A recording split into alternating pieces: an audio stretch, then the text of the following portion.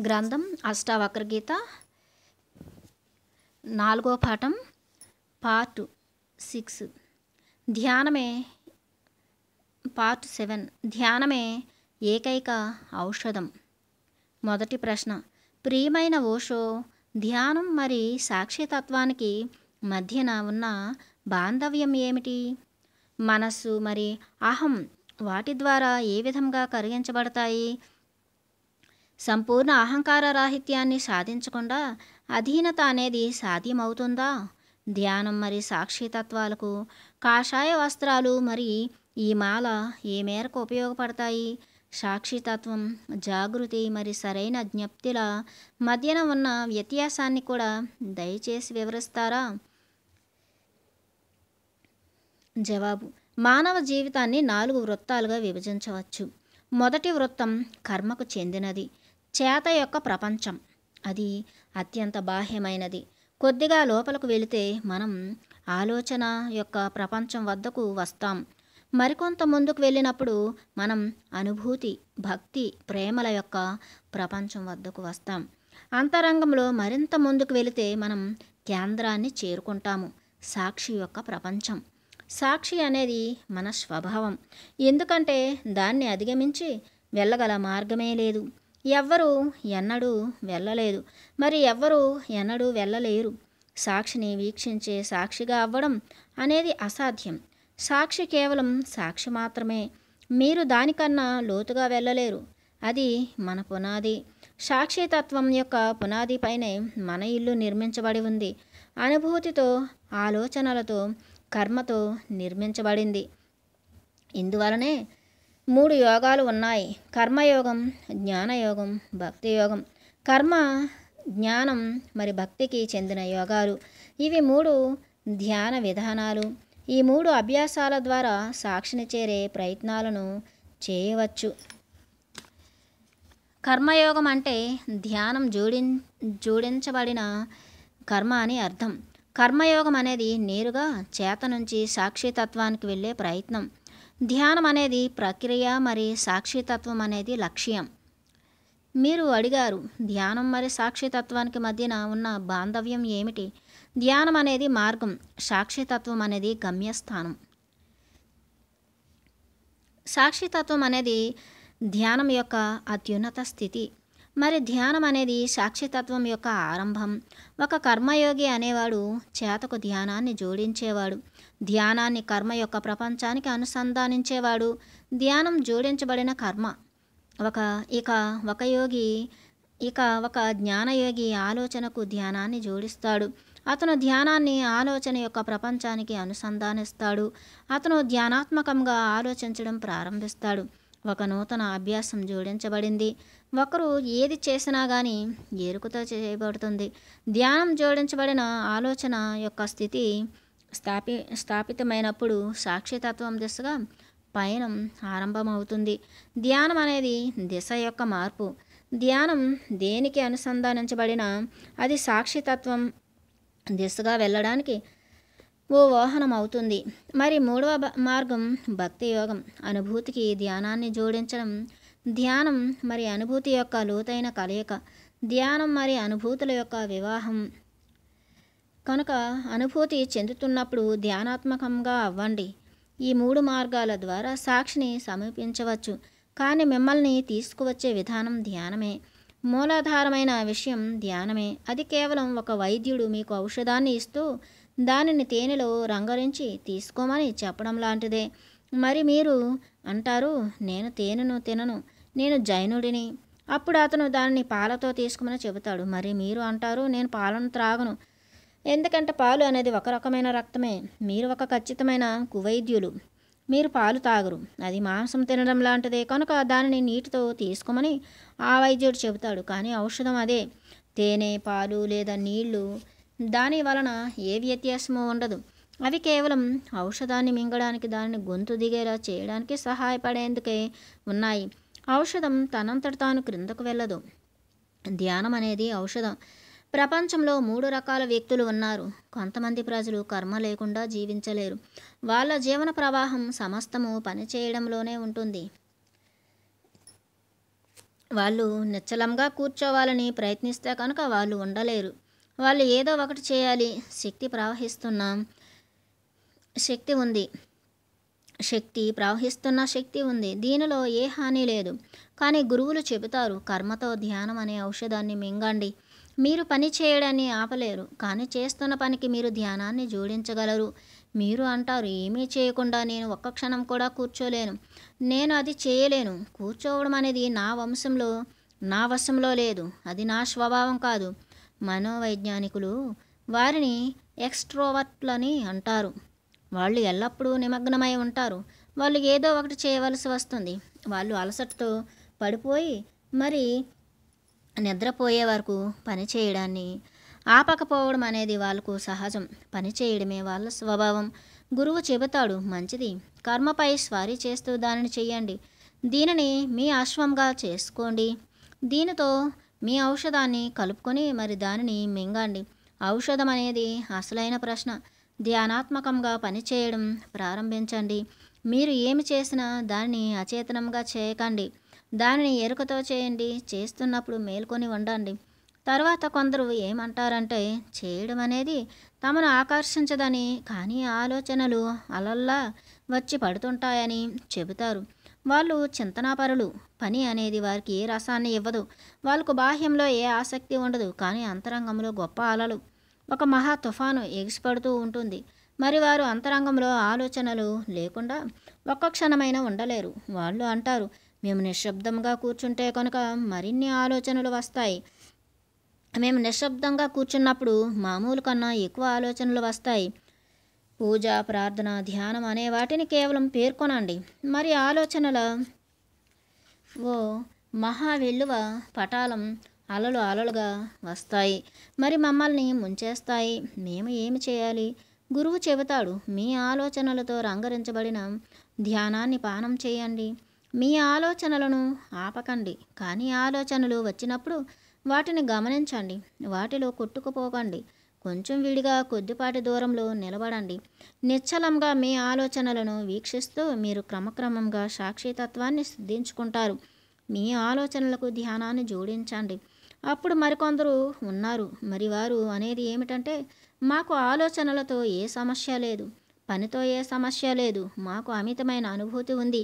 అశ్రువులు ప్రవహిస్తుంటాయి. హృదయం ఉప్పొంగిపోయి ముంచెత్తుతూ ఉంటుంది.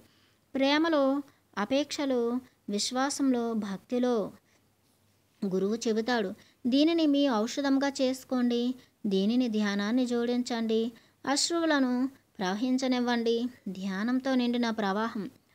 ఆ పులకరింతను అక్కడ ఉండనివ్వండి కానీ ధ్యానంతో నిండిన నిండినది అవ్వాలి దాని సారము ధ్యానమే.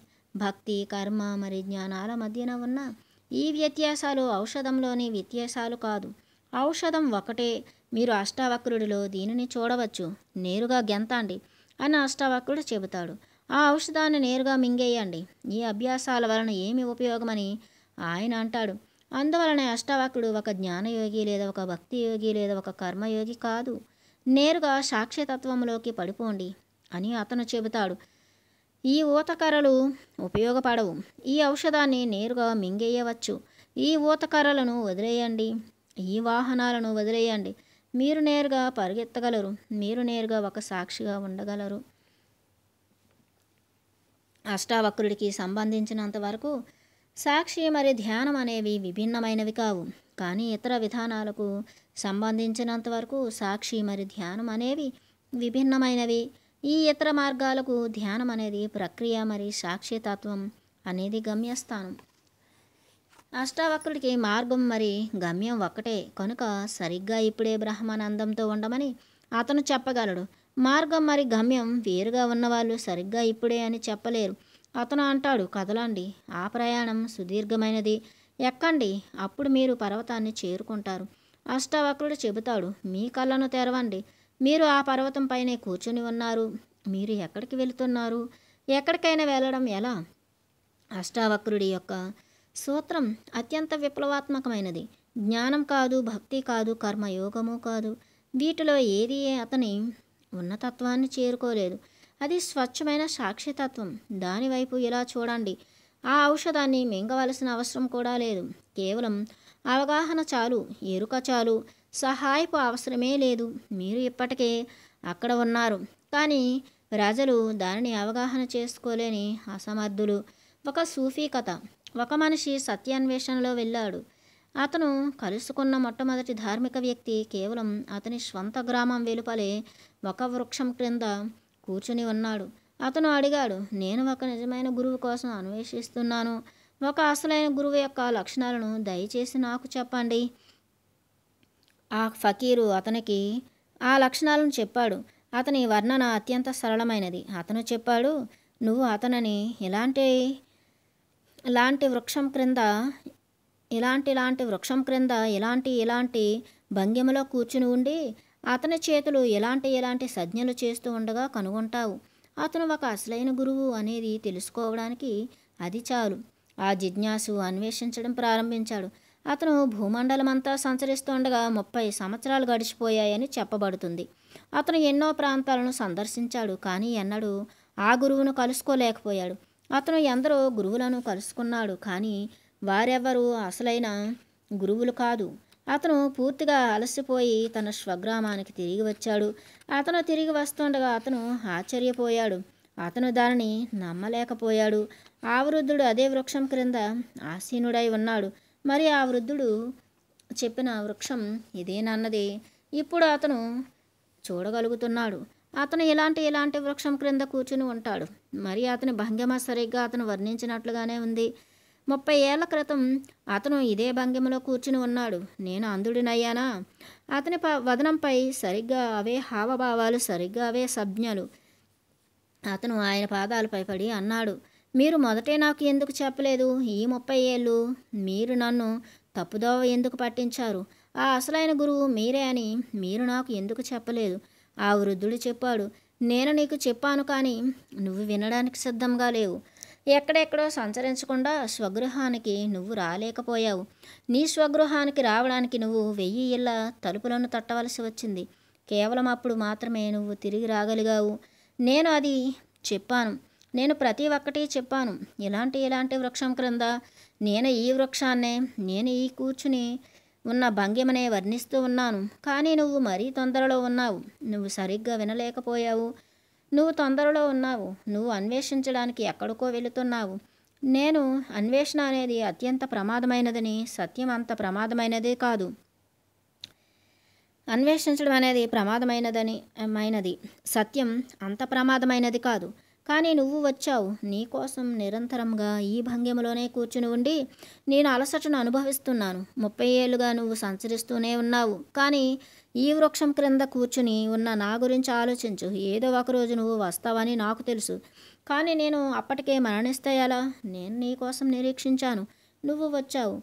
నువ్వు ముప్పై ఏళ్ళ పాటు సంతరి సంచరించవలసి వచ్చింది. కానీ అది నీ స్వంత తప్పిదం. గురువు ఎల్లప్పుడూ ఇక్కడే ఉన్నాడు. మన జీవితంలో ఎన్నోసార్లు ఏమి జరుగుతుందంటే దగ్గరగా ఉన్నదానిని మనం చూడలేము. మరి దూరంగా ఉన్నది మనల్ని ఆకర్షిస్తుంది. సుదూరంలో మధ్యలో దరువులు మధురంగా వినిపిస్తాయి. సుదూర స్వప్నాల చేత మనం ఆకర్షించబడతాము. మీరు దేనినైతే అన్వేషిస్తున్నారో అదే మీరు అని అష్టావక్రుడు చెబుతాడు. మరి సరిగ్గా ఇక్కడే సరిగ్గా ఇప్పుడే మీరు అదే అయి ఉన్నారు. కృష్ణమూర్తి ప్రజలకు చెబుతున్నది సరిగ్గా అష్టావక్రుడి యొక్క సందేశమే.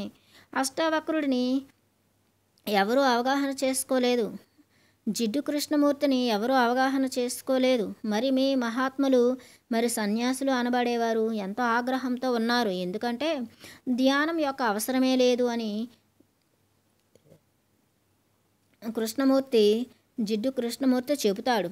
అతను చెబుతున్నది పూర్తిగా సరైనదే. భక్తి యొక్క అవసరమే లేదు. కర్మ యొక్క అవసరమే లేదు. జ్ఞానం యొక్క అవసరమే లేదు. సామాన్య సాధువులు మరి సన్యాసులు ఎంత ఆందోళన పడిపోతారు? ఏదైనా కానీ అవసరమే లేదా? అతను ప్రజలను తప్పుదోవ పట్టిస్తున్నాడు. తప్పుదోవ పట్టించేది ఈ సాధువులే.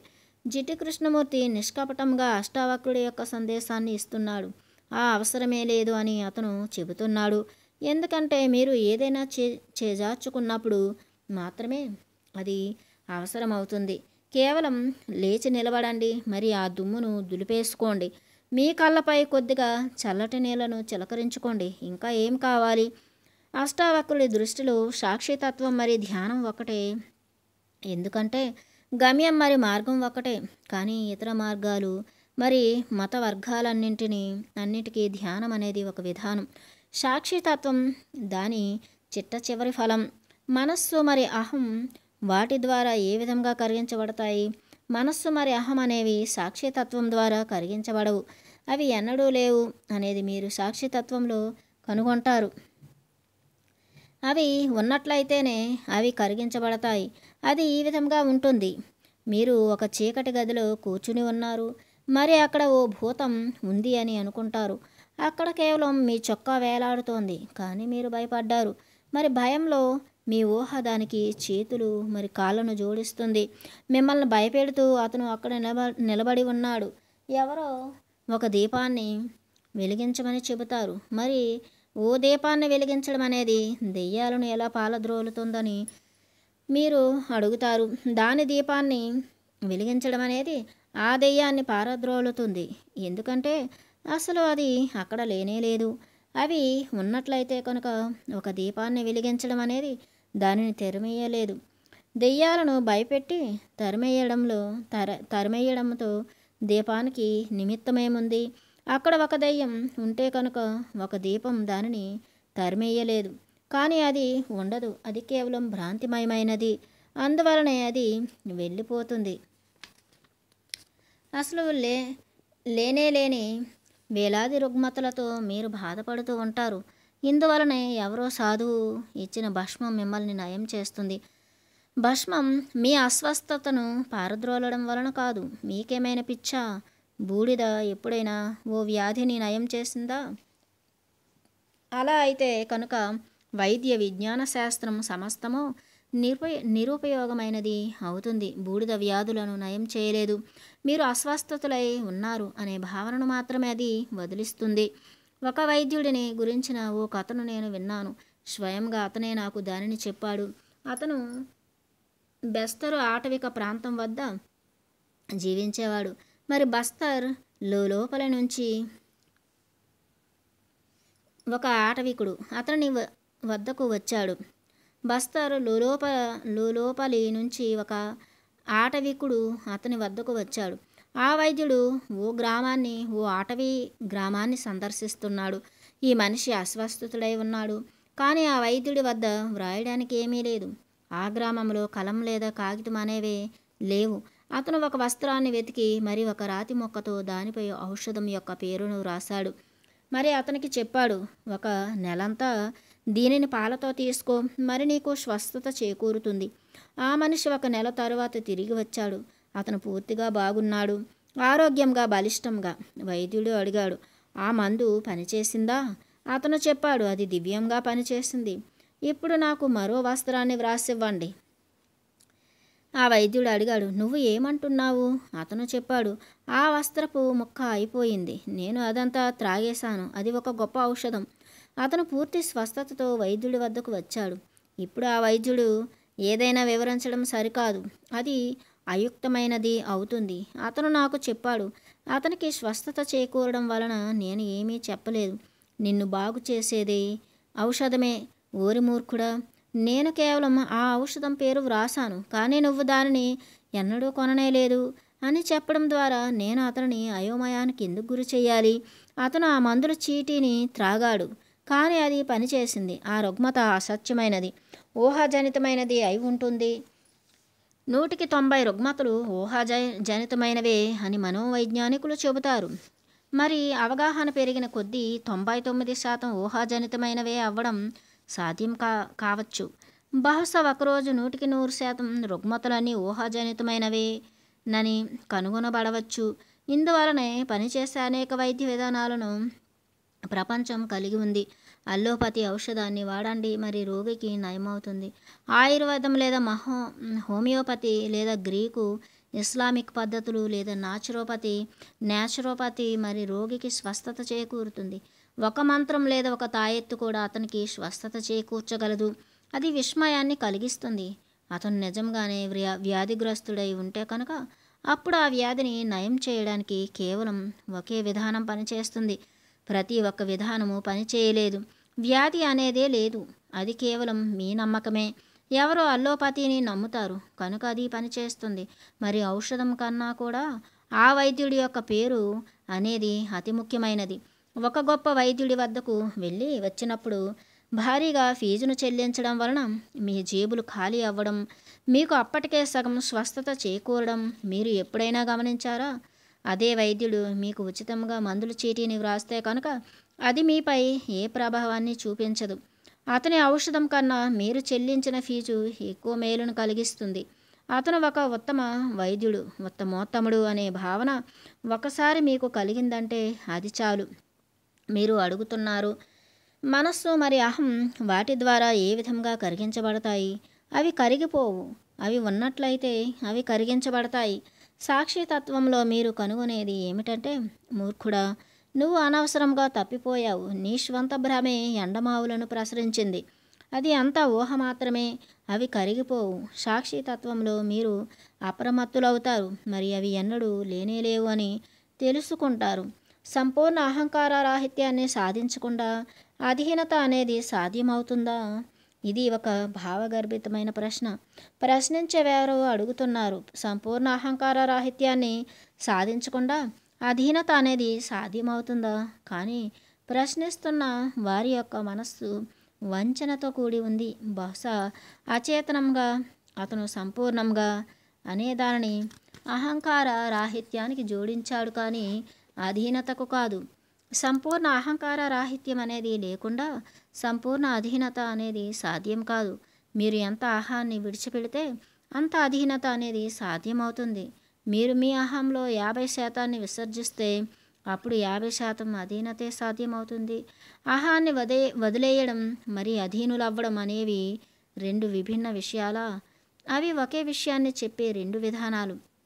మీరు చెబుతున్నది ఏమిటంటే అహాన్ని పూర్తిగా విసర్జించకుండా అధీనత అనేది సాధ్యం కాదని సంపూర్ణ శరణాగతి అనేది సాధ్యం కాదని అధీన అధీనులవ్వాల్సిన అవసరం ఏమిటి?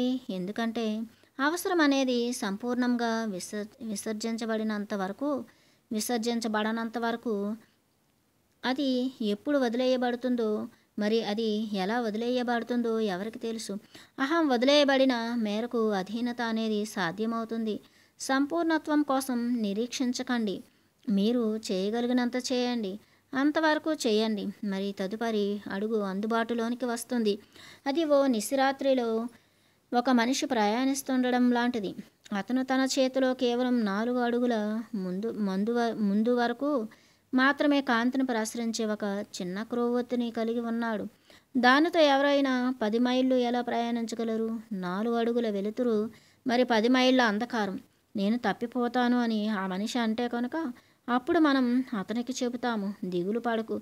నాలుగు అడుగులు వెయ్యి మరి నువ్వు నాలుగు అడుగులు వేసినప్పుడు ఆ కాంతి మరో నాలుగు అడుగులు ముందుకు వెళుతుంది. నడవడం మొదలు పెట్టడానికి నీకు పది మైళ్ళ వెలుతురు అవసరం లేదు. నాలుగు అడుగులు చాలు. ఎంత అహంకారం ఒక బిందువును వదిలేయండి. అప్పుడు మరో దానిని వదిలేయండి. ఒక బిందువును వదిలేయడంలోనే తరువాతి బిందువును వదిలేయగల అవకాశం వస్తుంది. నాలుగు అడుగులు వెయ్యండి. మరి ఆ వెలుతురు నాలుగు అడుగులు ముందుకు వెళుతుంది.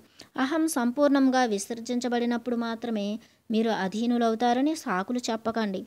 అప్పుడు మీరు దాన్ని ఎన్నడూ చేయరు. మీరు మీ రక్షణకు మీ రక్షణను అత్యంత జాగ్రత్తగా చేసుకున్నారు. మీ అహం వదిలేయబడినంతగా మీరు అధీనులవుతారు. అది నిజం. అయితే మీరు వదిలేయగలిగినంత వదిలేయండి. మీకు సాధ్యమైనంత అధీనతను సమీకరించుకోండి. బహుశా దాని యొక్క రుచి మిమ్మల్ని మరింత సంసిద్ధులుగా చేస్తుంది. దాని పరమానందం దాని పారవశ్యం మీకు మరింత ధైర్యాన్ని ఇస్తుంది. రుచి చూడడం ద్వారా ధైర్యం వస్తుంది. నేను ఈదడాన్ని పూర్తిగా నేర్చుకోనంత వరకు నేను నీటిలోకి వెళ్ళను అని ఒక మనిషి అనవచ్చు. అతను చెబుతున్నది సరైనదే అతని లెక్క సరైనదే అతని తర్కం సరైనదే. నేర్చుకోకుండా నేను నీటిలోకి వెళ్ళి మరి మునిగిపోతే ఎలా? అంత సమస్యలు చిక్కుకోవడం ఎందుకు? మొదట నేను చక్కగా ఈత కొట్టడం నేర్చుకుంటాను. కానీ మీరు దాన్ని చక్కగా ఎక్కడ నేర్చుకుంటారు? మీ పడక పైన మీరు ఈతను సంపూర్ణంగా ఎక్కడ నేర్చుకుంటారు? మీరు నీటిలోకి వెళ్ళవలసి వస్తుంది. కానీ సముద్రంలోకి దూకమని మీకు ఎవ్వరూ చెప్పడం లేదు. అంచు వద్దకు వెళ్ళండి. మీ మెడలోతు వరకు వెళ్ళండి. మీ ధైర్యం మీకు చెప్పినంత వరకు మాత్రమే వెళ్ళండి. అక్కడ ఈదడం నేర్చుకోండి. మరి క్రమక్రమంగా మీ ధైర్యం పెంపొందుతుంది. మీరు ప్రతిసారి మరో అడుగు లోతుకు వెళ్ళవచ్చు. సాగరపు పూర్తి లోతులో మీరు ఈత ఈదగలిగినంత వరకు. ఒకసారి మీరు ఈదడం నేర్చుకుంటే మరి దానిని నేర్చుకోవడానికి మీరు లోపలికి వెళ్ళాల్సి వస్తుంది. తీరానికి దగ్గరగా ఉండండి. ఒక లోతైన నదిలోకి నేరుగా ఓ పర్వతం మీద నుంచి దూకేయమని నేను చెప్పడం లేదు. తీరానికి దగ్గరగా ఉండండి. నీటితో స్నేహం చేసుకోండి. నీటితో పరిచితులు అవ్వండి మీ కాళ్ళు చేతులను కదపండి. ఈత అంటే ఏమిటి? మీ కాళ్ళు చేతులను నైపుణ్యంతో కదిలించడమే. ప్రతి ఒక్కరికి అలా చేయడం ఎలాగో తెలుసు. ఈత ఇంతకు ముందు ఎన్నడూ ఈత కొట్టని వారిని మీరు నీళ్ళలోకి తోసేసినా కూడా అతను చేతులు కాళ్ళను కదిలించడం మొదలు పెడతాడు. దీనికి మరి ఓ ఈతగాడికి మధ్యన ఉన్న వ్యత్యాసం కేవలం కొద్దిపాటి నైపుణ్యం మాత్రమే. వాళ్ళు చేస్తున్న దానిలో ఏ వ్యత్యాసమూ లేదు. మునుపెన్నడు ఈత కొట్టని వ్యక్తి కూడా తన చేతులు మరి కాళ్ళను విసురుతున్నాడు కానీ అతనికి నీటి పట్ల విశ్వాసం. తన పట్ల తనకు విశ్వాసం లేదు. తాను మునిగిపోబోతున్నానని అతను భయపడుతున్నాడు. ఆ భయం అతనిని ముంచేస్తుంది. నీళ్ళు ఎన్నడు ఎవరిని ముంచేయలేదు. ఒక మృతదేహం ఉపరితలంపైకి తేలడం ఒక శవం నీటిపై తేలడం మీరు చూసే ఉంటారు. ఆ శవాన్ని అడగండి. నువ్వు ఏ గారిడి నేర్చుకున్నావు? నువ్వు సజీవంగా ఉన్నప్పుడు నువ్వు మునిగిపోయావు. మరణించి నువ్వు తేలుతున్నావు. ఆ శవానికి భయం లేదు. ఆ నది దానిని ఎలా ముంచగలదు? దేనినైనా ముంచడం అనేది నీటి యొక్క స్వభావం కాదు. నీరు వస్తువులను పైకి ఎత్తుతుంది. ఇందువలనే నీటిలో బరువు తగ్గినట్లుగా కనిపిస్తుంది. నీటిలో ఉన్నప్పుడు మీకన్నా బరువైన వ్యక్తిని మీరు పైకెత్తి మరి మొయ్యగలరు. నీటిలో ఉన్నప్పుడు మీరు ఒక పెద్ద రాయిని ఎత్తగలరు. నీటిలో వస్తువుల యొక్క బరువు తక్కువగా ఉంటుంది. భూమికి గురుత్వాకర్షణ శక్తి ఉన్నట్లుగానే భూమి క్రిందుకు లాగుతుంది. నీరు పైకి తేల్చుతుంది. వస్తువులను పైకెత్తే స్వభావం నీటికి ఉంది. మీరు మునిగిపోతుంటే కనుక దానికి కారకులు మీరే. నీరు ఎన్నడూ ఎవరిని ముంచెయ్యలేదు. తెలియకుండా నీటిని నిందించకండి. నీరు ఎన్నడూ ఎవరిని ముంచెయ్యలేదు. ఒక శాస్త్రవేత్తను అడగండి. అతను కూడా ఏం చెబుతాడంటే ఒక మనిషి మునిగిపోవడం అనేది ఓ అద్భుతం. ఎందుకంటే నీరు పైకి తేలుస్తుంది. మీ భయోత్పాతంలో మీరు మునిగిపోతారు. మీరు అరుస్తారు మరి కేకలు పెడతారు మీ నోటిని మీరు తెరుస్తారు మీరు నీటిని లోపలికి త్రాగేస్తారు మరి మరింత బరువెక్కుతారు మరి మీరు మునిగిపోతారు మీ మరణానికి మీరే కారకులు అవుతారు. ఒక ఈతగాడు కేవలం దీనినే నేర్చుకుంటాడు. మీరు నీరు మిమ్మల్ని పైకి ఎత్తుతుంది నీటిపై అతని విశ్వాసం మరింత దృఢమవుతుంది. నీటిలో బరువు తగ్గుతుంది అని అతను అవగాహన చేసుకుంటాడు. నేలపై ఉన్నటే ఉన్నప్పటికంటే నీటిలో మన బరువు ఎంతో తక్కువగా ఉంటుంది. మీరు ఒక బావిలోకి చేదన వేసినప్పుడు ఆ బాల్చి నిన్- నిండుతూ ఉన్నప్పుడు మరి నీటిలో ఉన్నప్పుడు అది తేలికగా ఉండడం మీరు చూసే ఉంటారు. దానిని పైకి లాగడం మొదలు పెట్టండి. మరి అది బరువుగా అవుతుంది. ఆ నీరు మిమ్మల్ని సమర్థిస్తుంది. అది మిమ్మల్ని ఎలా ముంచగలదు? సాధకుడు నెమ్మది నెమ్మదిగా ఈ వాస్తవంతో పరిచితుడు పరిచితుడు అవుతాడు. విశ్వాసం కలుగుతుంది. నీరు శత్రువు కాదు. మిత్రుడే అని విశ్వాసం వస్తుంది. అది మిమ్మల్ని ముంచేయదు. నైపుణ్యం గల ఒక ఈతగాడు తన చేతులను జోడించడు. వాటిని కదిలించడు. కానీ ఉపరితలంపైనే ఉండగలడు. ఒక తామర పువ్వులాగా. అతను కూడా మీలాంటి మనిషే. అతనిలో విశ్వాసం ఉదయించింది. అనేది తప్ప ఏ వ్యత్యాసమూ లేదు. అతను తనను తాను విశ్వసిస్తాడు. అతను నీటిని విశ్వసిస్తాడు. వాళ్ళ మధ్య ఓ మిత్రత్వం వృద్ధి చెందింది. అధీనతలో కూడా అదే విధంగా జరుగుతుంది. అధీనతలో భయం ఏమిటంటే మీరు మునిగిపోవచ్చు. కనుక మీరు ఒడ్డును ఎక్కాలని అనుకుంటారు. మీరు వంద డిగ్రీలు అధీనులైపోవాలని నేను చెప్పడం లేదు. ఒక డిగ్రీ అయినా చాలు. దాన్ని క్రమక్రమంగా చేయడం ద్వారా మీరు తెలుసుకుంటారు. ఆ రుచి పెంపొందుతుంది. రసం వృద్ధి చెందుతుంది శక్తి పుష్పిస్తుంది.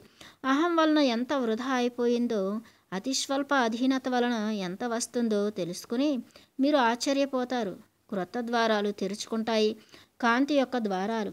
మీ అస్తిత్వంలో నూతన పవనాలు వేస్తాయి. ఒక క్రొత్త పులకింత ఒక క్రొత్త ఉత్సాహం.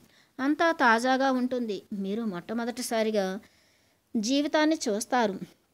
మొదటిసారిగా మీరు మీ కళ్ళ నుంచి పొగచూరున తెరను తొలగిస్తున్నారు. దివ్యత్వం యొక్క ఉనికి తనను తాను సాకారం చేసుకోవడం ప్రారంభిస్తుంది. అధీనులు అవ్వండి మరి దివ్యత్వం సమీపానికి వస్తుంది. ఎందుకంటే మీరు లేకపోవడం లేకుండా పోవడం ప్రారంభిస్తారు. దివ్యత్వం సాక్షాత్కరించడం ప్రారంభిస్తుంది. అస్తిత్వం సుదూరాన సుదూరాన ఉందా? మీ మందమైన అహం వలనే మీరు దానిని చూడలేరు. మీరు దానిని చూడలేరు. ఎందుకంటే మీ కళ్ళు అహంకారంతో నిండిపోయి ఉన్నాయి. దానిని మీ కంటితో నేరుగా చూడగల సమర్థులుగా తయారవ్వండి. క్రమక్రమంగా ధైర్యం పెంపొందుతుంది. నమ్మకం ఆత్మవిశ్వాసం. మీరు మరింత మరింతగా అధీనులవుతారు. ఏదో ఒకరోజు మీరు పూర్తిగా గెంతుతారు. ఏదో ఒకరోజు మీరు అంటారు ఇక చాలు. ఇప్పటి వరకు మిమ్మల్ని మీరు కాపాడుకోవడం కోసం మిమ్మల్ని మీరు వృధా చేసుకున్నారు. ఒకరోజు మీరు అవగాహన చేసుకుంటారు. మరి వదిలేస్తారు. అప్పుడు మిమ్మల్ని మీరు మునిగిపోనిస్తారు మరి రక్షింపబడతారు. మునిగిపోవడానికి సిద్ధంగా ఉన్నవారు అనుగ్రహింపబడిన వారు ఎందుకంటే వాళ్ళను ఎవరూ ముంచలేరు. రక్షింపబడిన వారు దురదృష్టవంతులు ఎందుకంటే వాళ్ళు ఇప్పటికే మునిగిపోయి ఉన్నారు. ఈ రోజు కాకపోతే రేపు వాళ్ళ పడవ ఫెలఫెలమంటు అంటుంది. మరి మొక్కలైపోతుంది. అహం మరి అధీనతల గురించి పరిగణించవలసిన విషయం మరొకటి ఉంది. మనస్సు ఎంతో తేలివైనది. అది సాకులను వెతుకుతుంది. మనస్సు అంటుంది అయితే మొదట ఏది? అహాన్ని వదిలేయడం ముందా? లేక అధీనత అనేది ముందా? అహంకారం విసర్జింపబడేందుకు నేను అధీనుడను అవ్వాలా? లేక అధీనత సంభవించగలిగేందుకు నేను ఆహాన్ని వదిలేయాలా? మీరు గుడ్లు కొనడానికి విపణి వీధికి వెళ్ళినప్పుడు కోడి పిల్ల ముందా లేక గుడ్డు ముందా? అని మీరు అడగరు. మీరు అది అడిగితే కనుక మీరు గుడ్లతో ఎన్నటికీ ఇంటికి తిరిగి రా తిరిగి రారు. మీరు కేవలం గుడ్లను కొనుగోలు చేస్తారు మరి ఏది ముందు కోడిపిల్ల లేదా గుడ్డు? అనేది ముందుగా నిర్ధారణ చేసుకోకుండానే మీరు వెళ్ళిపోతారు. అనేక మంది దానిని చర్చించారు. కోడిపిల్ల లేదా గుడ్డు అనేది ఆ ప్రశ్న అత్యంత పురాతనమైనది. ఏది ముందు వస్తుంది? ఒక జవాబును కనుగొనడం అత్యంత కష్టతరమైనది. గుడ్డు ముందు వస్తుందని మీరు అనగానే సమస్యలు మొదలవుతాయి. ఎందుకంటే ఆ గుడ్డు ఓ కోడి నుంచే వచ్చి ఉండాలి. కనుక కోడిపిల్ల అనేది ముందు వస్తుంది. కోడిపిల్ల ముందు వచ్చి అని మీరు అనగానే మళ్ళీ సమస్య ఉత్పన్నమవుతుంది ఎందుకంటే గుడ్డు అనేది లేకుండా ఆ కోడిపిల్ల ఎలా రాగలదు? అది ఒక చక్రం. ఆ ప్రశ్న తప్పుదోవ పట్టించేది. ఆ ప్రశ్న తప్పుదోవ పట్టిస్తుంది. ఎందుకంటే కోడిపిల్ల మరి గుడ్డు అనేవి రెండు కాదు. కోడిపిల్ల మరి గుడ్డు అనేవి ఒక విషయం యొక్క రెండు దశలు. ఒకదాని ముందు మరొక దానిని పెట్టి వాటిని రెండుగా చేసి మీరు ఓ ప్రశ్నను రేకెత్తిస్తారు. కోడిపిల్ల అనేది గుడ్డు యొక్క ఒక రూపం ఒక సంపూర్ణంగా సాకారమైన రూపం. గుడ్డు అనేది కోడిపిల్ల యొక్క రూపం ఒక రూపం సాకారం కానిదైన రూపం. ఒక విత్తనం మరియు వృక్షంలాగా. అహంకార రాహిత్య మరి అధీనత అనేవి కేవలం ఇలాంటివే. ఏది ముందు వస్తుంది వాదిస్తూ సమయాన్ని వృధా చేయకండి. మీరు కోడిపిల్లను తెస్తే కనుక మీరు గుడ్డును తెచ్చారు. మీరు గుడ్డును తెచ్చితే కనుక మీరు కోడి పిల్లను తెచ్చారు. మీరు ఎక్కడి నుంచి మొదలుపెట్టినా ఒకటి వస్తే కనుక దానితో పాటుగా మరొకటి కూడా వస్తుంది. మీరు అహాన్ని వదిలిపెట్టగలిగితే కనుక అహాన్ని వదిలిపెట్టడం ద్వారా ప్రారంభించండి. మీరు అహాన్ని వదిలిపెట్టలేకపోతే కనుక అప్పుడు అధీనులు అవ్వడం ద్వారా ప్రారంభించడం ఉంచండి. మీరు అధీనులు అయితే కనుక అహం విసర్జింపబడుతుంది. అది పూర్తిగా విసర్జింపబడుతుంది అని నేను చెప్పడం లేదు.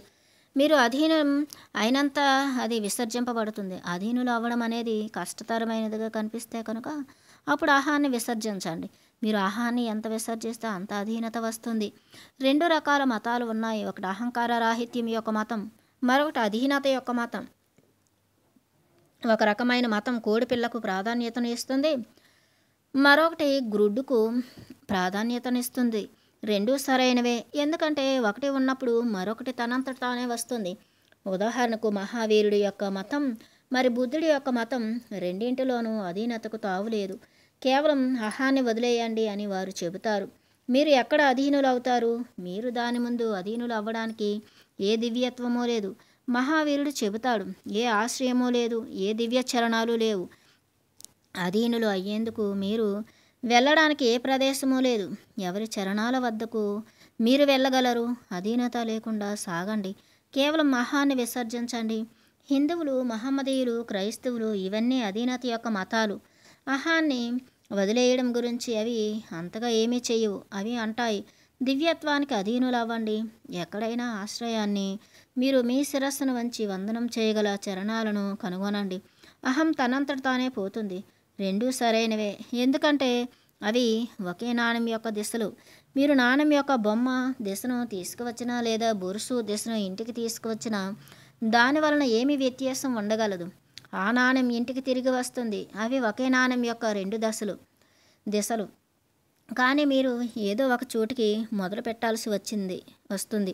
దాన్ని తేల్చాలని ప్రయత్నిస్తూ కేవలం ఊరికే కూర్చోకండి. ధ్యానం మరి సాక్షి తత్వాలకు కాషాయ వస్త్రాలు మరి ఈ మాల ఏ మేరకు ఉపయోగపడతాయి?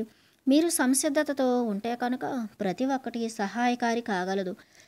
మీరు సంసిద్ధతో ఉంటే కనుక అతి చిన్న విషయాల నుంచి ఒక మార్గాన్ని ఏర్పరచవచ్చు. లంకకు చేరడానికి రాముడు సముద్రం మీద సేతువు నిర్మిస్తున్నప్పుడు ఉడతలు చిన్న చిన్న రాళ్ళు మరి ఇసుక రేణువులను తీసుకువచ్చాయని చెప్పబడి చెప్పబడుతుంది. అవి కూడా దానిలో చేయి వేశాయి. అవి కూడా వారిది నిర్మించడానికి దోహదపడ్డాయి. భారీ రాళ్ళను తీసుకువచ్చిన ఇతరులు ఉన్నారు. ఆ చిన్న ఉడతలు తాము చేయగలిగినది చేశాయి. మీ వస్త్రాల రంగును మార్చడం నుంచి మరీ ఎక్కువగా ఆశించకండి. ఎందుకంటే కేవలం వస్త్రాలను మార్చడం ద్వారా ప్రతిదీ మారిపోగలిగితే కనుక అది అత్యంత సులభతరమైనది అయే అయి ఉండేది. కేవలం మీ మెడ చుట్టూ ఓ మాలను ధరించడం ద్వారా ఎంతో జరిగిపోతుంది అని రూపాంతరీకరణ సంభవిస్తుందని ఆశించకండి. రూపాంతరీకరణ అనేది అంత చవకైనది కాదు కానీ అది కేవలం ఒక ఉడుత యొక్క పని మాత్రమే. అది ఏమి చేయగలదు అని కూడా అనుకోకండి. రాముడు ఉడుతలకు కూడా కృతజ్ఞతలు చెప్పాడు. ఈ చిన్న ఉపకరణాలు కూడా దోహదపడతాయి. ఈ విధంగా దోహదపడతాయి. మీరు ఆకస్మికంగా కాషాయ వస్త్రాలలో మీ గ్రామానికి తిరిగి వెళ్తారు. ఊరంతా మీ వైపు సంభ్రమంతో చూస్తుంది. ఆ గ్రామంలో మీరు ఇంతకుముందు జీవించినట్లుగా? మీరు జీవించలేరు. ఇంతకుముందు ఉన్నట్లుగా? ఆ గ్రామంలో మీరు మరుగున ఉండిపోలేరు. మీరు గ్రామానికి మీతో పాటుగా ఒక వ్యక్తిత్వాన్ని తీసుకువస్తారు. ఏమి జరిగిందని ప్రతి ఒక్కరూ అడుగుతారు. ఏదో సంభవించింది అని ప్రతి ఒక్కరూ మీకు జ్ఞాపకం చేస్తారు. ప్రతి ఒక్కరూ మిమ్మల్ని ప్రశ్నిస్తారు. మీ స్మృతిని ప్రతి ఒక్కరూ మేల్కొల్పుతారు. ఒక సాక్షిగా తయారవ్వాలని మీకు మళ్ళీ మళ్ళీ గుర్తు చేస్తూ ప్రతి ఒక్కరూ మీకు ఓ అవకాశాన్ని ఇస్తారు. ఒక మిత్రుడు సన్యాసం తీసుకున్నాడు మరి అనంతరం అతను విలపించడం ప్రారంభించాడు. ఒక సరళమైన వ్యక్తి మరి అతను అన్నాడు కేవలం ఒక్క సమస్య ఉంది నేను మద్యం సేవిస్తాను. మరి నిశ్చయంగా దానిని వదిలేయమని మీరు నన్ను అడుగుతారు? నేను అన్నాను నేను ఎవరిని ఏది విసర్జించమని? ఎన్నడూ అడగను. త్రాగు కానీ ధ్యానాత్మకంగా త్రాగు. అతను అన్నాడు మీ ఉద్దేశం ఏమిటి? ఒక సన్యాసిగా ఉండి కూడా నేను మద్యం సేవించవచ్చా? అతను ఒక నెల రోజుల తర్వాత తిరిగి వచ్చి ఇలా అన్నాడు మీరు నన్ను మాయ చేశారు. నేను పబ్బు దగ్గర నిలబడి ఉన్నప్పుడు ఒక మనిషి వచ్చి నా పాదాలను స్పృశించాడు. మరి ఇలా అన్నాడు మీరు ఇక్కడ ఏం చేస్తున్నారు స్వామీజీ? నేను అక్కడ నుండి పారిపోయాను. పబ్లో ఒక స్వామీజీనా? అని నాతో నేను అనుకుంటూ అతను నాతో అన్నాడు మీరు నన్ను మాయ చేశారు. ఆ పబ్ దిశగా వెళ్ళాలన్నా కూడా ఇప్పుడు నేను భయపడుతున్నాను. ఎవరైనా నా పాదాలను స్పృశించడం లేదా నాకు వంగి నమస్కరించడం లాంటిది ఏదైనా చేస్తే ఎలా? నేను అక్కడికి వెళ్ళి ఇప్పటికి పదిహేను రోజులు అయ్యింది. ఒక జ్ఞప్తి సంభవించింది. ఎరుక జాగృతమైంది ఈ కాషాయ వస్త్రాలను వినియోగిస్తూ మీరు నిన్నటి వరకు చేసినట్లుగానే మీరు కోపాన్ని తెచ్చుకోలేరు. ఏదో మిమ్మల్ని బలంగా లాగుతుంది. దాన్ని మర్చిపోమని. ఏదో మీకు చెబుతుంది. ఈ కాషాయ వస్త్రాల్లో అది ఎంతో వికారమైనదిగా కనిపిస్తుంది. కేవలం కొద్దిపాటి సమస్యను కల్పించడానికే నేను మీకు కాషాయ వస్త్రాలను ఇస్తాను. అంతే తప్ప ఇంకేమీ కాదు. మీరు ఒక దొంగ. అయితే కనుక మీరు అంత సులభంగా ఓ దొంగగానే ఉండిపోతా ఉండిపోలేరు. అంత సులభం మీరు అంత సులభంగా ఓ దొంగగానే ఉండిపోలేరు. మీకు డబ్బు పిచ్చి అత్యాశ ఉంటే కనుక అప్పుడు మీ అత్యాశ అంతే బలంతో ఉండలేదు. మీరు రాజకీయాలలో ఉంటే రాజకీయ పదవి యొక్క కీర్తి వెనుక పరుగు పెడుతూ ఉంటే కనుక అది అర్ధరహితమైన అయినదని మీరు ఆకస్మికంగా కనుగొంటారు. ఈ చిన్న విషయం ఈ వస్త్రాలు ఎంతో సాంకేత్మక సంకేతాత్మకమైనవి అవుతాయి. వాటిని వాటికి వాటి స్వంత ప్రాముఖ్యత ఉండదు. కానీ మీరు వాటిని ధరించినప్పుడు ఏదైతే ఒక అతి చిన్న విషయమై ఉందో ఆ విత్తనం అతి చిన్నది అతి క్రమంగా పెద్దదిగా మారింది. క్రమక్రమంగా ప్ర ప్రతి దారిని మార్చింది అని మీరు క్రమక్రమంగా తెలుసుకుంటారు. అది మీ చురుకుదనాన్ని మార్చుతుంది. అది మీ అలవాట్లను మార్చుతుంది. అది మీ ప్రవర్తనా శైలిని మరి కదలికను మార్చుతుంది. మీ జీవితంలో ఒక నూతన శోభ ఉంటుంది. మీ పట్ల ప్రజల యొక్క అపేక్ష మార్పు చెందుతుంది. ప్రజల యొక్క కళ్ళ మీ కళ్ళు మీ వైపు విభిన్నంగా చూస్తాయి. మీ పేరును మార్చుకోవడంతో మీ పాత పేరు నుంచి మీరు వేరు చేయబడతారు. మీ వస్త్రాలను మార్చుకోవడంతో మీ పురాతన నమూనా నుంచి మీరు స్వతంత్రులు అవుతారు మీ కంఠం చుట్టూ ఉన్న ఈ మాల మీకు నన్ను గుర్తు చేస్తూనే ఉంటుంది. అది మీకు మరి నాకు మధ్య ఒక వారిది అవుతుంది. మీరు అంత సులభంగా నన్ను మర్చిపోలేరు. మరి ప్రజలు మిమ్మల్ని దూరంగా ఉంచడం ప్రారంభిస్తారు. మరి వాళ్ళు మిమ్మల్ని దూరంగా ఉంచడం అనేది మీరు సాక్షిగా ఉండేందుకు గొప్ప సహాయకారి అవుతుంది. కానీ కేవలం దీనిని చేయడం ద్వారానే ప్రతిదీ సంభవిస్తుంది అని నేను చెప్పడం లేదు. కేవలం వస్త్రాలను మార్చడం ఆ మాలను ధరించడం మరి అది అయిపోయిందని ప్రయాణం పూర్తయిపోయిందని అనుకోవడం అదంతా మీపై ఆధారపడి ఉంటుంది. ఇవి గుర్తులు తెలిపే స్తంభాల లాంటివి. బాట ప్రక్కన పన్నెండు మైళ్ళు యాభై మైళ్ళు ఢిల్లీకి వంద మైళ్ళు అని వ్రాయబడి ఉన్న మైలు రాయి ఉన్నా లేకపోయినా ఢిల్లీకి అది వంద మైళ్ళ దూరంలో ఉంటే కనుక అది వంద మైళ్ళ దూరమే. కానీ రాతిపై వ్రాయబడి ఉన్న ఈ వాక్యాలు ప్రోత్సాహకరమైనవి. ఈ బాణం గుర్తులు ప్రయాణికుడిని తేలికపరుస్తాయి. అతను అంటాడు పర్వాలేదు కేవలం వంద మైళ్ళే వెళ్ళాలి. ఇరవై ఐదు మైళ్ళే వెళ్ళాలి. యాభై మైళ్ళే వెళ్ళాలి. స్విట్ స్విట్జర్లాండ్లో మైలురాళ్ళ స్థానంలో వాళ్ళు నిమిషపు రాళ్ళు పెట్టారు. ఏదైనా పర్వత ప్రాంతంలో మీరు మీ కారును ఆపితే కనుక గత స్టేషన్ ఎంత దూరంలో ఉంది అనేది తెలిపే సైన్ పోస్టును చూసి మీరు ఆశ్చర్యపోతారు. ముప్పై నిమిషాల దూరం తదుపరి స్టే- స్టేషన్ పదిహేను నిమిషాల దూరం. అది ఒక అర్థవంతమైన సూచన.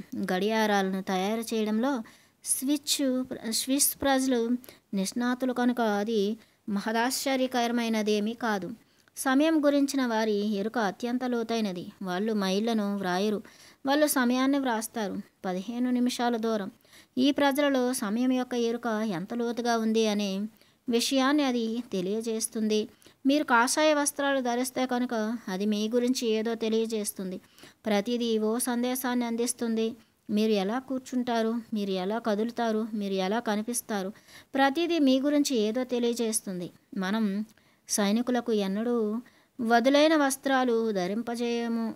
ప్రపంచంలో ఎవరు అది చెయ్యరు. వాళ్ళు వదులైన వస్త్రాలను ధరించి ఉంటే కనుక వాళ్ళు ఓడించబడతారు. సైనికులకు అలా వస్త్రాలు ధరింపజేయడం అనేది ప్రమాదకరమైనదిగా నిరూపితం కావచ్చు. మనం సైనికులకు బిగుతైన దుస్తులను ధరింపజేస్తాం. ఎంత బిగుతైనవంటే వాళ్ళు ఎల్లప్పుడూ అసౌఖ్యాన్ని అనుభవిస్తారు. మరి వాళ్ళు వాటిలో నుంచి బయటపడాలని కోరుకుంటారు. బిగుతైన వస్త్రాలు పోరాట స్వభావాన్ని ప్రేరేపిస్తాయి. బిగుతైన వస్త్రాల్లో కూర్చుని ఉన్నవాళ్ళు ఎల్లప్పుడూ పోట్లాటకు సిద్ధంగా ఉంటారు. వదిలైన వస్త్రాలను ధరించినప్పుడు ఎవరైనా కొద్దిగా విశ్రమిస్తారు. కేవలం ఒక చక్రవర్తి మాత్రమే వదిలైన వస్త్రాలు ధరిస్తాడు. లేదా ఒక సన్యాసి ఒక ఫకీరు. వదిలైన వస్త్రాలను ధరించి మెట్లు ఎక్కుతున్నప్పుడు మీరు ఒకసారి ఒక మెట్టు మాత్రమే ఎక్కుతారు. బిగుతైన వస్త్రాలు ధరించినప్పుడు మీరు ఒకేసారి రెండు మెట్లు ఎక్కుతారు. అనేది మీరు ఎప్పుడైనా గమనించారా? బిగుతైన వస్త్రాలను ధరించి ఉన్నప్పుడు మీరు కోపంతో నిండి ఉంటారు. ఎవరైనా ఒక చిన్న మాట కూడా అన్నా మీరు కలత చెందుతారు. వదిలైన వస్త్రాల్లో మీరు విశ్రమించి ఉంటారు. చిన్న విషయాలే వ్యత్యాసాన్ని కలిగిస్తాయి. జీవితం చిన్న విషయాలతోనే నిండి ఉంటుంది. జీవితం అనే వారధి ఉడుతల చేత తీసుకురాబడిన చిన్న చిన్న రాళ్ళతోనే నిర్మించబడింది. మీరు ఏం తింటారు? మీరు ఏం ధరిస్తారు? మీరు ఎలా లేస్తారు? మరి కూర్చుంటారు. చివరగా ఇవి అన్నీ తమ ప్రభావాన్ని కలిగి ఉంటాయి. మీరు వీటన్నింటి కలయిక ఇక్కడ ఒక మనిషి తలుకూలిని గాడి అయిన రంగురంగుల దుస్తులను ధరించి నడుస్తూ వెళ్తున్నాడు. అది ఒక సందేశాన్ని అందిస్తుంది. ఒక స్త్రీ అసభ్యమైన తన వంపులను ప్రదర్శిస్తున్న అశ్లీల వస్త్రాలను ధరించి నడిచి వెళుతోంది. అది ఒక సందేశాన్ని అందిస్తుంది. ఒక మనిషి దుస్తులను ధరించి ఉన్నాడు. అతని గురించిన ఒక సందేశం అందించబడింది. మనోవైజ్ఞానికులు చెప్పేది ఏమిటంటే మీరు ఎవరినైనా అరగంట సేపు నిశ్శబ్దంగా గమనిస్తే కనుక అతను తన దుస్తులను ఎలా ధరిస్తాడు? అతను ఎలా లే- లేచి నిలబడతాడు? అతను ఎలా కూర్చుంటాడు? అతను ఎలా చూస్తాడు? మీరు ఆ మనిషి గురించి ఎన్ని విషయాలను తెలుసుకుంటారంటే మీరు దానిని నమ్మలేరు. మన ప్రతి కదలిక యొక్క విధానం ప్రతి సంజ్ఞ మనవే. సంజ్ఞలో మార్పు ద్వారా మనం మార్పు చెందుతాం. మనలో మార్పు వలన మన సంజ్ఞలు మార్పు చెందుతాయి. కనుక ఇవి కేవలం సూచనలే. ఇవి మీతోనే ఉంటాయి. ఇవి మిమ్మల్ని నిర్దేశిస్తూ ఉంటాయి. అప్రమత్తంగా ఉండడంలో ఇవి మీకు కొంత సహాయాన్ని అందిస్తాయి. సాక్షితత్వం జాగృతి మరి సరైన స్మృతి మధ్యన ఉన్న వ్యత్యాసాన్ని కూడా దయచేసి వివరిస్తారా? ఏ వ్యత్యాసమూ లేదు. ఇవన్నీ వివిధ సాంప్రదాయాల చేత వినియోగించబడే పర్యాయ పదాలు. కృష్ణమూర్తి జాగృతిని ఉపయోగిస్తాడు. బుద్ధుడు వినియోగించేది సరైన స్మృతి. జాగరూకత అష్టావక్రులు ఉపనిషత్తులు గీత అంతా సాక్షితత్వాన్ని ఉపయోగిస్తారు. వ్యత్యాసం అనేది కేవలం సాంప్రదాయానికి చెందినదే. కానీ అవి అన్నీ ఒకే దిశను సూచిస్తాయి. రెండవ ప్రశ్న. ప్రియమైన ఓషో అష్టావక్రుడిపై మీ ప్రథమ ప్రసంగ తరుణంలో అనేక మంది ఎంతగానో విలపించారు. దీని భావం ఏమిటి? ఆ విలపిస్తున్నవారు దుర్బల హృదయం గలవారా లేదా అది మీశ్వరం యొక్క శక్తేనా? దయచేసి దీనిపై కొంత కాంతిని ప్రసరించండి. జవాబు. ఒక విషయం నిశ్చయం. ఈ ప్రశ్న వేస్తున్నది ఓ కఠిన హృదయుడైన మనిషి. అతను కన్నీళ్ళలో కేవలం దుర్బలత్వాన్ని మాత్రమే చూస్తాడు. ప్రశ్నిస్తున్న వ్యక్తి కన్నీళ్ళు ఇంకిపోయి ఆ కళ్ళు ఒక ఎడారిలాగా బీడు పడిపోయే ఆయనే బీడు పడిపోయాయనేది స్పష్టం. వాటిలో పువ్వులు వికసించవు కన్నీలు అనేవి కన్నుల యొక్క కుసుమాలు. ఈ ప్రశ్నిస్తున్న వ్యక్తి అనుభూతులు మృత మృతమైపోయాయి. ప్రశ్నిస్తున్న వ్యక్తి హృదయం మొద్దుబారిపోయింది. ఈ ప్రశ్న వేస్తున్న వ్యక్తి కేవలం వివేకం ద్వారానే జీవిస్తున్నాడు. అతను తన మృత భావాలకు తర్పణాలు వదిలేశాడు. అతను ఆలోచనల్లో జీవిస్తూ ఉండ ఉండుండాలి. ప్రేమ మరి దయ జీవితం పట్ల గౌరవం శృంగారం పరమానందం వీటన్నింటి వీటన్నింటి సంభావ్యతను అతను నిరాకరించి ఉండాలి. ఏ వెల్లువ ప్రశ్నిస్తు ప్రవహిస్తున్నట్లుగా కనిపించడం లేదు. అతని హృదయం ఒక ఎడారిలా శుష్కమైపోయి ఉంటుంది. కనుక అతనికి తోచిన మొదటి విషయం ఏమిటంటే ఇక్కడ విలపిస్తున్నవారు దుర్బల హృదయులు. విలపించడం అనేది దుర్బలత్వానికి సూచన అని మీకు ఎవరు చెప్పారు? మీరా ఆపు లేకుండా విలపించింది.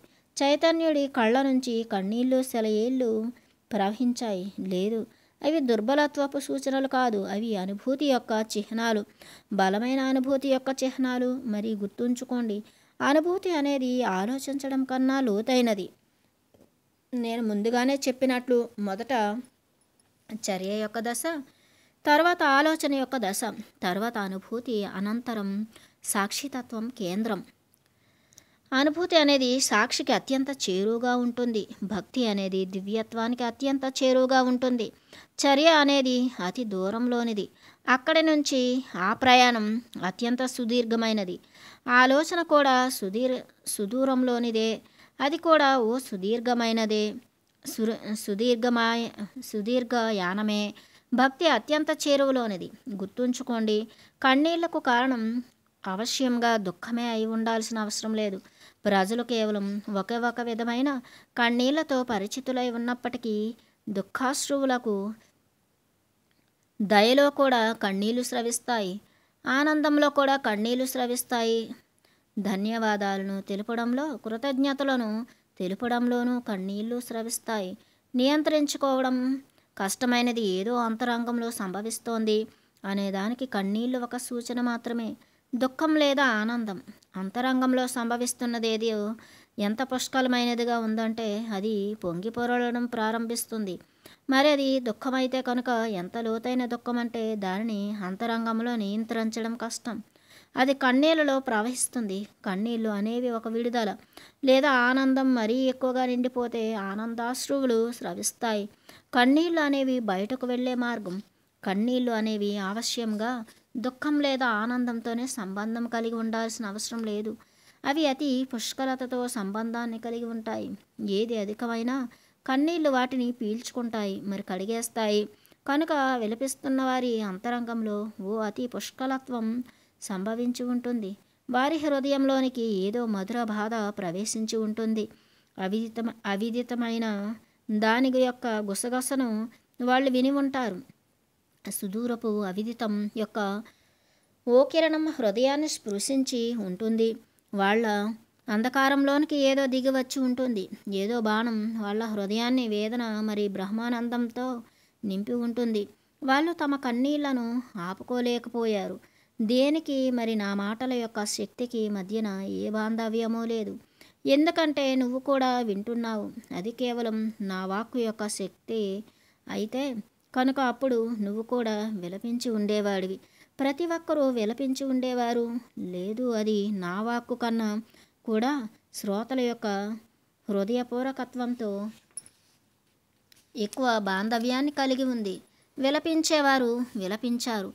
మరి విలపించడం అనేది ఒక మహత్తర శక్తి. మానవాళి ఒక అత్యంత అద్వితీయమైన సామర్థ్యాన్ని కోల్పోయింది. ప్రత్యేకించి పురుషులు దానిని చేజార్చుకున్నారు. స్త్రీలు దాన్ని కొంత కాపాడుకున్నారు. స్త్రీలు భాగ్యశాలులు. మానవుల కళ్ళలోని అశ్రు అశ్రు గ్రంథములు గ్రంథులు అశ్రు గ్రంథులు పురుషుడిలో మరి స్త్రీలో ఒకే విధంగా ఉన్నాయి. ప్రకృతి అశ్రు గ్రంథులను సారూప్యతతో రూపొందించింది. ప్రకృతి యొక్క ఉద్దేశ్యం స్పష్టంగానే ఉంది. ఇరువురి కళ్ళు విలపించడానికి రూపొందించబడినవే. కానీ పురుషాహంకారం నెమ్మది నెమ్మదిగా ప్రతిదాన్ని నియంత్రించింది. విలపించడం అనేది స్త్రీత్వ సంబంధమైనది అని పురుషులు క్రమక్రమంగా అనుకోవడం ప్రారంభించారు. కేవలం స్త్రీలే విలపిస్తారు. దీనివలన పురుషులు ఎంతో కోల్పోయారు. వాళ్ళు భక్తిని కోల్పోయారు. వాళ్ళు అనుభూతిని కోల్పోయారు. వాళ్ళు ఆనందాన్ని కోల్పోయారు.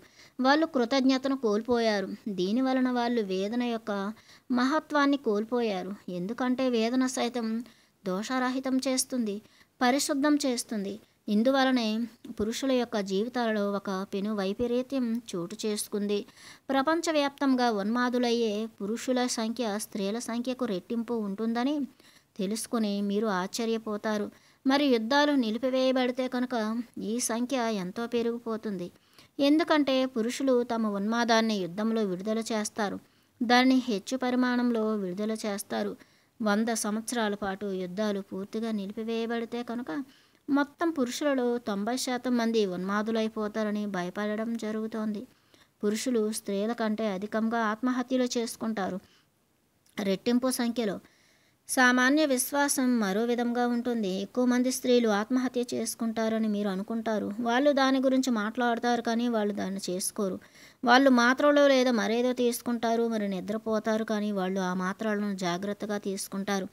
కనుక ఆత్మహత్య ప్రయత్నాలను స్త్రీలు అధికంగా చేస్తారు కానీ సఫలీకృతులు కారు. వాళ్ళు తమ ప్రయత్నాలను జాగ్రత్తగా చేస్తారు. వాస్తవానికి స్త్రీలు ఆత్మహత్య చేసుకోవాలని కోరుకోరు. ఆత్మహత్య అనేది వారి ఫిర్యాదును వ్యక్తీకరించే ఓ విధానం మాత్రమే. ఈ జీవితం జీవించదగిన దగినది కాదని ఒక మెరుగైన జీవనశైలి అవసరమని వారు చెబుతున్నారు. ఆత్మహత్య చేసుకుంటున్న ఓ స్త్రీ మీకు చెబుతున్నది ఏమిటంటే మీరు ఎంత శిలాహృదయులైపోయారంటే ఆమె తనను తాను చంపుకోవడానికి సిద్ధపడితే తప్ప మీరు ఆమె పట్ల ఏ శ్రద్ధను చూపడం లేదు. ఆమె కేవలం మీ శ్రద్ధను ఆకర్షిస్తోంది. ఇది అత్యంత అనుచితమైనది. మీ శ్రద్ధను ఆకర్షించేందుకు మరణించడాన్ని ఓ సాధనంగా ఆమె వినియోగించాల్సిన రావడం. పురుషుడు నిశ్చయంగానే అసాధారణ కఠినత్వంతో ఉన్నాడు. ఒక శిలలాగా తయారయ్యాడు. స్త్రీలు మరణించాలని అనుకోరు. వాళ్ళు జీవించాలని కోరుకుంటారు. జీవన పదంలో మరీ అతిగా సమస్యలు వచ్చినప్పుడు వినేవారు ఎవరూ లేరు. శ్రద్ధను చూపేవారు ఎవరూ లేరు. మీరు శ్రద్ధ చూపేలా చేయడానికి వాళ్ళు ఆత్మహత్యను ఒక మార్గంగా ఉపయోగిస్తారు. కానీ పురుషులు ఆత్మహత్య చేసుకున్నప్పుడు వాళ్ళు సఫలమవుతారు. పురుషులు ఉన్మాదంలో ఆత్మహత్య చేసుకుంటారు. ఎక్కువ మంది పురుషులు మానసికంగా అస్వస్థతులు ఎందుకు? ఎన్నో కారణాలు ఉన్నాయి. వాటిలో ఒకటి కన్నీళ్ళు పురుషులు మళ్ళీ ఏడవడం ఎలాగో నేర్చుకోవాలి అని మనోవైజ్ఞానికులు అంటారు. విలపించకపోవడం అనేది ఒక బలం కాదు. మీరు బలం అని పిలిచేది మొండి తేలిపోవడమే. బలం అనేది అంత కఠినమైనదిగా ఉండదు. బలం అనేది సున్నితమైనది. కొండల మీద నుంచి క్రిందకు పారే జలపాతాలను సెలయేలను పడుతుండగా మీరు చూశారు. సున్నితమైన నీరు రాయి అత్యంత కఠినమైనది. రాయి నిశ్చయంగానే తాను బలమైనది దానిని బలమైన దానిని మరి ప్రవహిస్తున్న నీరు దుర్బలమైనదని అనుకుంటుంది. కానీ చివరకు ఆ ప్రవహిస్తున్న నీరే గెలుపొందుతుంది. ఆ రాయి ఇసుకగా క్షీణింపబడుతుంది మరి కొట్టుకుపోతుంది. దివ్యత్వం సున్నితత్వంతోనే ఉంటుంది. దివ్యత్వం అనేది శక్తిహీనుల యొక్క శక్తి. ఒక పువ్వు వికసించింది. మరి దాని సమీపంలో ఒక రాయి ఉంది. అవశ్యంగానే ఆ రాయి బలమైనదిగా పువ్వు బలహీనమైనదిగా కనిపిస్తుంది. కానీ పువ్వు యొక్క శక్తిని మీరు ఎప్పుడైనా చూసారా? జీవం యొక్క శక్తిని. ఒక రాయికి ఎవరు మోకరిల్లుతారు? దివ్యత్వం యొక్క చరణాల వద్ద సమర్పించడానికి మీరు రాయిని తీసుకెళ్ళరు. రాయి ఎంతో బలమైనది. కనుక మీరు దానిని మీ ప్రేయస్కి ఇవ్వాలని మీరు అనుకుంటారా? లేదు. మీరు అది చెయ్యరు. మీరు పువ్వులను ఇస్తారు. ఒక పువ్వుకు బలం ఉంది. ఒక పువ్వుకు మహనీయత ఉంది. సౌకుమార్యమే దాని బలం. దాని బలహీనత కూడా దాని బలమే. అది ఉదయం విచ్చుకుంటుంది మరి సాయంత్రానికల్లా అది ముడుచుకుపోతుంది. ఇదే దాని బలం. కానీ అది పుష్పిస్తుంది. ఒక రాయి ఎన్నటికీ పుష్పించదు. అది కేవలం ఉంది. ఒక రాయి మృతమైనది. ఒక పువ్వు సజీవమైనది. మరి అది మరణిస్తుంది. ఎందుకంటే అది జీవించింది. ఒక రాయి ఎన్నడూ మరణించదు. ఎందుకంటే అది ఇప్పటికే మరణించింది. సున్నితంగా తయారవ్వండి కన్నీళ్ళను మళ్ళీ వెనక్కు పిలవండి. మీ కళను గీతం మరి కవిత్వంతో వాటిని నింపనివ్వండి. లేదంటే మీరు ఎన్నో విషయాలను పోగొట్టుకునే ఉంటారు. మీ దైవం హేతుబద్ధమైనదిగానే ఉంటుంది. హృదయానుభవంగా కాదు. కేవలం ఒక వాదమే ఒక రుచి మరి సత్యం యొక్క ఓ అనుభవమో కాదు. కన్నీళ్ళను స్రవించనిచ్చే వాళ్ళు అదృష్టవంతులు వాళ్ళు బలవంతులు. మీరు ఏమన్నా వాళ్ళు లెక్క చేయరు. ఇతరులు ఏమంటున్నారు అనే దాని గురించి వాళ్ళు పట్టించుకోరు. ఎవరైనా పూర్తిగా విలపిస్తున్నప్పుడు అతను విమర్శలతో ఏ నిమిత్తాన్ని కలిగి ఉండడు. మీరు పట్టించుకోకుండా ఉండడానికి మరి జనాలు ఏమని అంటారు అని అనుకు అనకుండా ఉండడానికి బలం కావాలి. వాళ్ళను మాట్లాడనివ్వండి. అపకీర్తి దాని ఉండనివ్వండి. నన్ను గుండెల నిండుగా విలపించనివ్వండి. ఒక పురుషుడు ఏడ్చినప్పుడు ఒక పసిబాలుడిలా రోధించినప్పుడు అతని బలాన్ని మీ గురించి ఆలోచించండి. మీ అందరి గురించి అతను బెంగపడడం లేదు. అతను ఇతరుల ప్రజలు ఏమనుకుంటారోనని దిగులు పడడం లేదు. ఒక విశ్వవిద్యాలయపు ప్రొఫెసర్నైనా నేను మరి విలపించడమా? ఒక విద్యార్థి చూస్తే కనుక లేదా అంత పెద్ద వ్యాపారవేత్త మరి విలిపించడమా? ఒక ఖాతాదారు చూస్తే కనుక లేదా అంతటి బలవంతుడైన భర్త మరి విలిపించడమా? నా భార్య దగ్గరలోనే ఉంది. మరి మేము ఇంటికి వెళ్ళిన తర్వాత ఆమె నా వంతు చూస్తుంది. లేదా నేను ఒక తండ్రిని మరి విలపిస్తున్నాను. నా కుమారుడు చూస్తే కనుక పసిపిల్లలు చూస్తే కనుక నిన్ను నువ్వు నియంత్రించుకో. మీ అహం వెనక్కు లాగుతుంది నియంత్రిస్తుంది. అహంకార శూన్యులుగా మీరు విలపిస్తారు. అహం ఎల్లప్పుడూ తనను తాను నియంత్రణలో ఉంచుకుంటుంది. అహంకార శూన్యులుగా మీరు ప్రవహిస్తారు. మీలో ఒక ప్రవాహం ఉంది. ఒక కవి అంటాడు జ్వలించినది ఏదైనా ఆరిపోతుంది. ఒకసారి ఆరిపోతే దానిని తిరిగి రగిలించడం సాధ్యం కాదు. ప్రేమలో జ్వలించిన వారు ఓ రహీం! మళ్ళీ మళ్ళీ రగులుతూనే ఉంటారు. బొగ్గులు మండుతాయి. అవి తమంత తాము మండుతాయి. మరి ఆరిపోతాయి. కానీ అవి చివరగా ఆరిపోయే ఓ క్షణం వస్తుంది. అప్పుడు మీరు వాటిని తిరిగి రగిలించలేరు. బూడిదను మండే బొగ్గులుగా చేయడంలో ఎవరై బూడిదను మండే బొగ్గులుగా చేయడంలో ఎవరైనా ఎన్నడైనా సఫలీకృతులయ్యారా?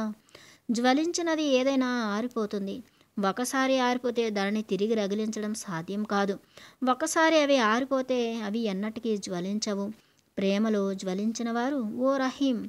కానీ ప్రేమ బాణం వలన హృదయానికి గాయమైన వారి గురించి రహీం ఏం చెబుతున్నాడు? ప్రేమలో జ్వలించిన వారు ఓ రహీం ఆరిపోతారు కానీ మళ్ళీ రగులుతూనే ఉంటారు. వాళ్ళు మళ్ళీ మళ్ళీ జ్వలిస్తారు వాళ్ళు మళ్ళీ మళ్ళీ ఆరిపోతారు. వారు మరి మళ్ళీ మళ్ళీ తిరిగి రగిలించబడతారు. ప్రేమ జ్వాల నిత్యమైనది శాశ్వతమైనది. నేను చెబుతున్న దానిని ప్రేమతో వినేవారు విలపించగలుగుతారు. నేను చెబుతున్న దానిని కేవలం వివేకంతోనే వినేవారు. నా నుంచి కొన్ని ముక్తాయింపులను కొంత జ్ఞానాన్ని తీసుకుంటారు. వాళ్ళు బూడిదనే తీసుకుంటారు. ప్రేమ యొక్క జ్వలిస్తున్న నిప్పు కణికలను కాదు. ఎన్నటికీ తిరిగి రగిలించలని బూడిదనే వాళ్ళు తీసుకుంటారు. గుర్తుంచుకోండి ఆ అగ్ని ఆరిపోయింది. నేను మీకు ఆ మాటలను చెప్పగానే అవి ఆరిపోతాయి. మీరు వివేకంతో వాటిని స్వీకరించినప్పుడు అది బూడిదే. మీరు హృదయం ద్వారా స్వీకరించినప్పుడు అది మండుతున్న నిప్పు కణిక. ప్రేమ అనే బొగ్గు జనించిన వారిలో ఆ అగ్ని జ్వలిస్తుంది. తర్వాత ఆరిపోతుంది. అనంతరం తిరిగి రగులుతుంది. అది మీకు ఎంతో పరితాపాన్ని కలిగిస్తుంది. అది మిమ్మల్ని పరిశుద్ధం చేస్తుంది. అది మీ జీవితం యొక్క సంపూర్ణ రూపాంతరీకరణను తీసుకొస్తుంది. మీరు మీ హృదయాన్ని తెరచి మరి విలపించగలిగితే ప్రేమ యొక్క మండుతున్న నిప్పు కణికను కణికలు మిమ్మల్ని చేరుకున్నాయి అని దాని అర్థం. మీరు విలిపించకపోతే కనుక అది కేవలం వివేకాన్ని మాత్రమే చేరింది. కొద్దిపాటి బూడిద సేకరించబడుతుంది. మీరు కొద్దిగా తెలుసుకున్నవారు అవుతారు. ఇతరులకు విమర్శించడంలో మీరు పూర్తి నైపుణ్యం గలవారు అవుతారు. చర్చలో వాదించడంలో మీరు ప్రవీణులవుతారు. కానీ ప్రధాన అంశం చేజారిపోయి ఉంటుంది. మీరు మండుతున్న నిప్పు కణికలను తీసుకోగలిగిన చోటు నుంచి మీరు కేవలం బూడిదతోనే తిరిగి వచ్చారు. మీరు దానిని పవిత్ర భస్మమని పిలిచినా కూడా దాని వలన ఏ వ్యత్యాసము ఉండదు. బూడిద అనేది బూడిదే.